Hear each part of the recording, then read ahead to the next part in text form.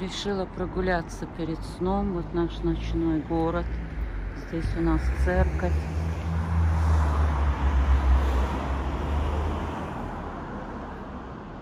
Нет освещения, совсем темно очень.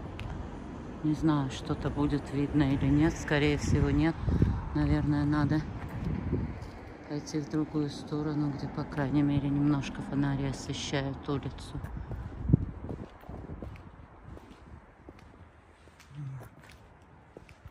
Здесь гуляю. Перед сном. Муж на работе еще. Время у нас 8.